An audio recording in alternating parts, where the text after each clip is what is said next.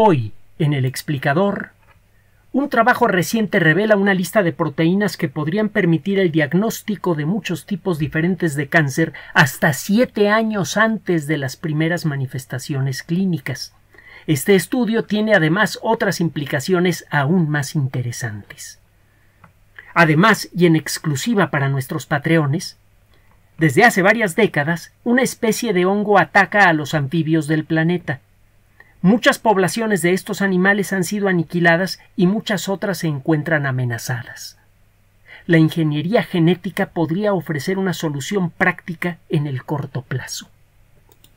Escuche y descargue nuestros audios en SoundCloud, Patreon, Spotify, iTunes y Amazon Music. Los detalles aparecen en la descripción de este audio. Gracias.